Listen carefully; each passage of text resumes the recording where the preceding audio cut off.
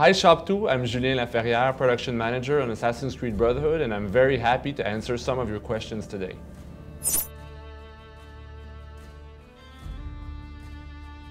We made uh, a short movie called Lineage last year, and uh, right now we're, we're working on some comic book projects.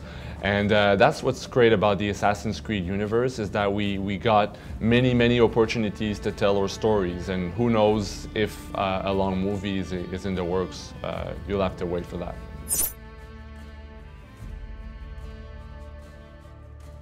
Uh, in Assassin's Creed Brotherhood, it was really important to us to um, develop Desmond's story uh, furthermore.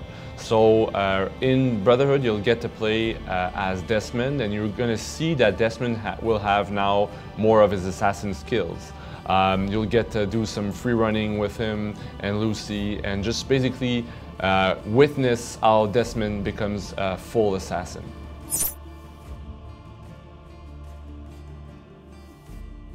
Yeah, I thought that uh, that trailer was was pretty cool. Uh, but all the the music in the game is done by Jesper Kyd, and it's very important to us to um, make sure that the, the music feels true to the period we're uh, we're making a game about. So, and it's a tradition with uh, with the marketing when we make our trailers to try to have a modern, edgy twist on the, um, on our game. So that's why we always try to select uh, cool tracks to make the trailers, but they don't they don't ma make it in the game.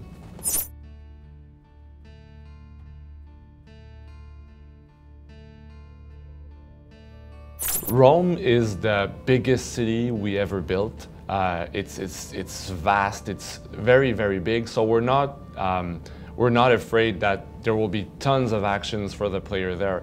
Plus, it's not the only city you visit in, in uh, AC Brotherhood. You'll get to go to Spain and Naples through the, all the um, Leo War Machine missions. You'll get to uh, wander outside the borders of the city and really explore more, more uh, of the region.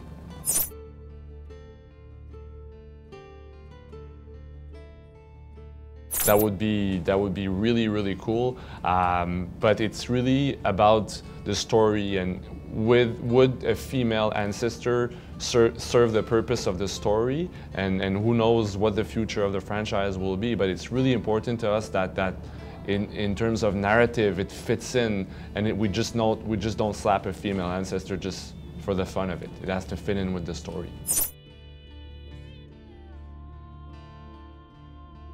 What I can say about that is that the whole development team really love Ezio as a character and the Italian Renaissance is a very, very rich moment in history to make very, very good stories. Plus we had the Borgia family, super interesting um, uh, cast of characters. So after AC2, we, we said we had kind of more story to tell about that period. Uh, so we started to work on, on, on that, plus the fan response of AC2 was immensely positive. So we said, well, we want to work on another game. I think fans want to, to know more about Ezio's stories, so let's make another game.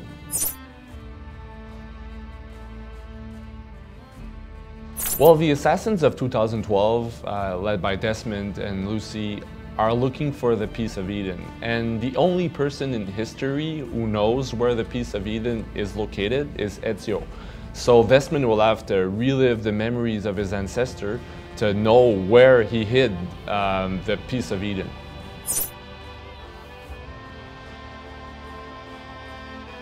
Well, first of all, that's a very good question, and we're the dev team is always happy to see like the really positive fan response about it because Brotherhood is not even out yet and people are wondering what's the next game in this series, so that's very flattering for us, of course. But uh, right now, the focus is on Brotherhood. Uh, play it, have fun, and who knows what's going to happen in the future.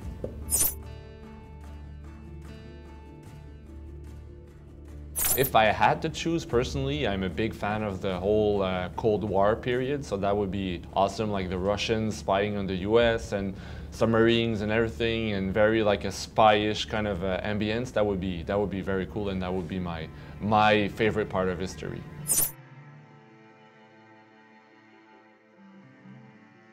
It's very important in the Assassin's Creed franchise that we we target strong um, moments of history where there was basically uh, um, something very important going on. Like in for AC1, it was all about the Crusades. And then for AC2 uh, and Brotherhood, it was the Italian Renaissance. So it's not really like we're not um, moving forward in history at a certain pace. It's more that the, that's what's beautiful about the Animus, basically, is that we can target moments in history that are historically significant and just make amazing stories in there. So we're not um, there were other moments in history between the Crusades and the, the, Renaissance that could be very, very interesting. But this time around, we said, well, Italian Renaissance, that's very interesting to make stories about it.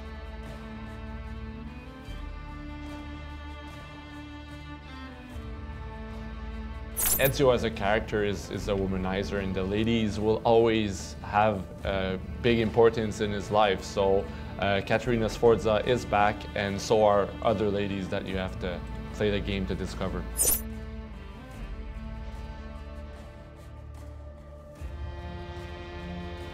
The Assassin's Creed franchise, one of the main elements is that we, we want to surprise players with new features that will be very, very cool. And it's important that we, we, we ship quality games. So there's no like rinse and repeat. We always want to keep fresh games, fresh ideas, and we, we have tons of them. So as long as we're going to have ideas, we're going to make uh, good quality games.